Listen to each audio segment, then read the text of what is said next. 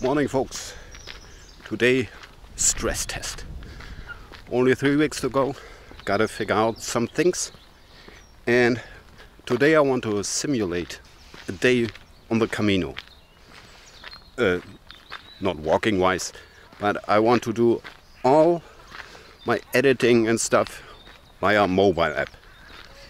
As if I would have been on the Camino.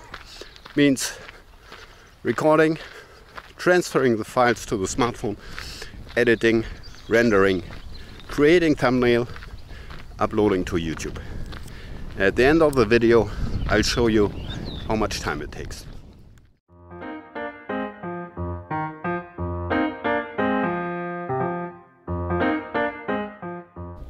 By the way, today I'm recording in 1080p, Full HD, 30 frames per second. Normally I'm recording in 60 frames per second. I hope 30 won't cause too much motion blur. We'll see. Oh, you know, I'm lazy. And for me, there's no option to fill up my SD cards, take them back home, and do the editing at home. I don't know. I don't have the time for that. I did it, but took me about half a year to finish. And in addition, you know, when I got back home, I had about eight hours of material in each language. You cannot create an eight hours video for YouTube. Nobody watches that. Means you have to cut out a lot of things and yeah, you lose so much of the Camino life. And that's why as last year. You'll get a video every day. I record while walking. When I'm at the albergue, I upload the video. And this time maybe I'll film also a little in the evening. And next morning I do a little recap of the day, of the evening before. Didn't do that last time. Now the task is you still walk the Camino. And you should not spoil your Camino experience by spending too much time on non-Camino topics. Now I did this before last year and now when I look backwards I made many mistakes and if you want to do the same or similar it's all about organization and power management.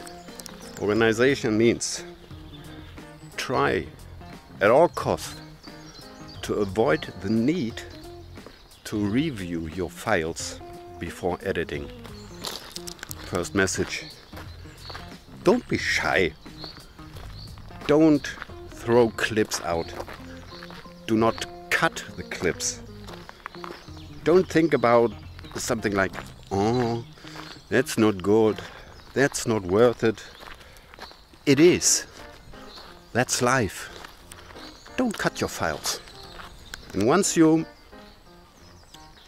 have the confidence to upload everything that you record, you know, you, you go to your mobile app, import the files, maybe set a transition,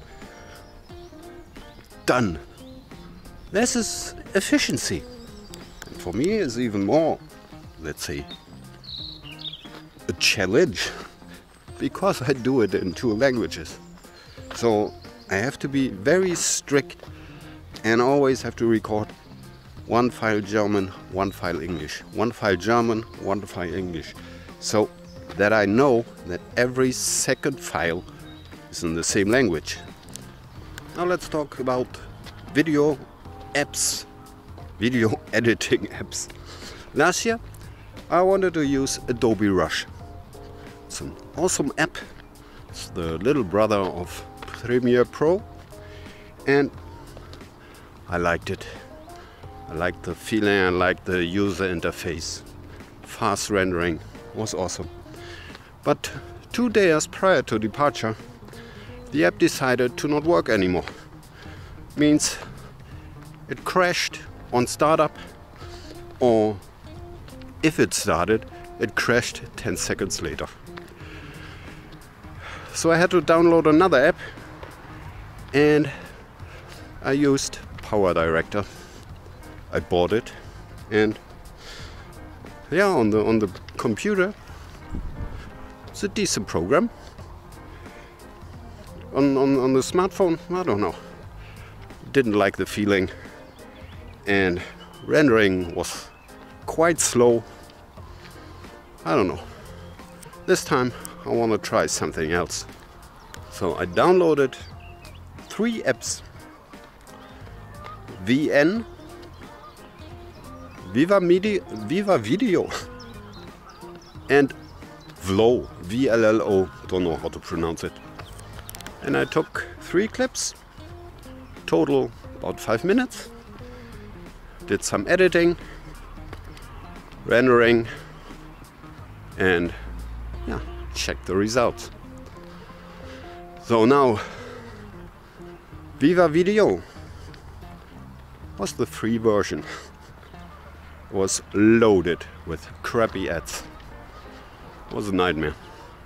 Now, if you buy it, you don't have the ads anymore. But when I wanted to render my video, it froze. After two minutes rendering, it froze.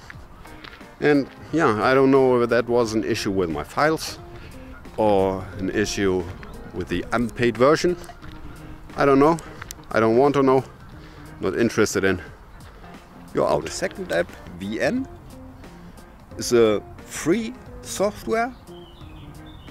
No ads. The only ad is at the startup of the program you get a screen saying oh VN for the iMac is available now. It's about five seconds. I don't care I can deal with it. But yeah editing was nice and rendering was nice and quite fast.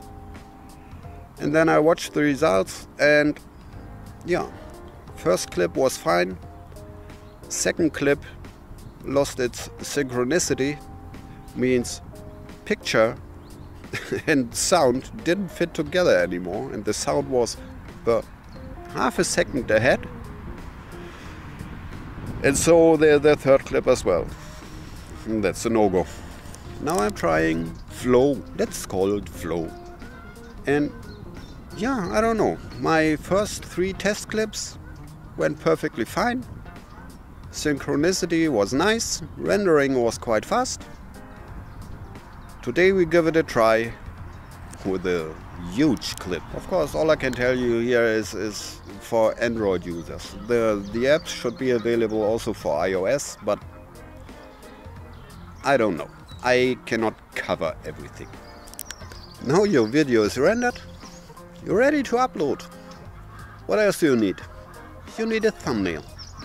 And yeah, either you do it by yourself or you use an app. I use Canva.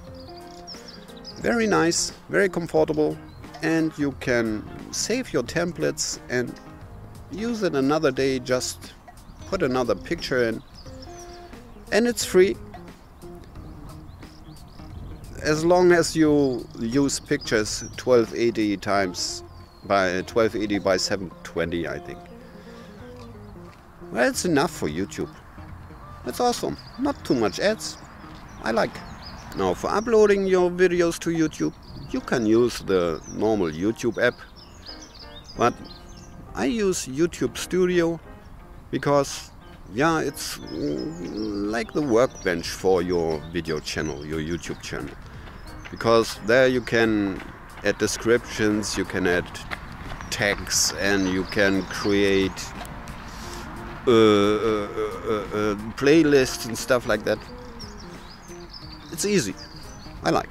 Now when you want to upload your videos and you're at the albergue, I highly recommend to make a Wi-Fi speed test first and have a plan B.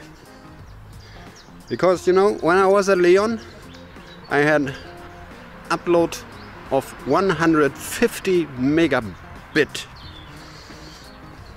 and yeah upload was finished after I don't know, 10 minutes. And when I was Von Frier, was less than one megabit. It took me, I don't know, overnight. 10 hours, 12 hours, I don't know. It's a huge difference. So have a plan B. What I do, my mobile provider, O2, belongs to Telefonica. Mm.